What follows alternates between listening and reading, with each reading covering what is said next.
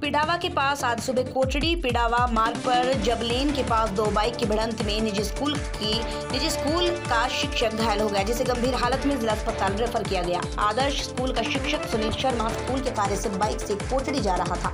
वहीं सारंगा खेड़ा से तरफ़ से ग्रामीण बाइक से आ रहा था। अचानक जबलेन के पास रूपपुरा तिराहे पर दोनों बाइक में आमने सामने की भिड़ंत हो गई, जिसमें दोनों बाइक सवार गिरकर घायल हो गई भिड़ंत में सुनील शर्मा के सर में गंभीर चोटें आई। दोनों घायलों को ग्रामीण पिड़ावा अस्पताल लाए, जहाँ सुनील शर्मा की गंभीर हालत को देखते हुए चिकित्सकों से प्राथमिक उपचार के बाद उसे झालावाड़ रेफर कर दिया। मोहम्मद नफीस, पिड़ावा, झालावाड़।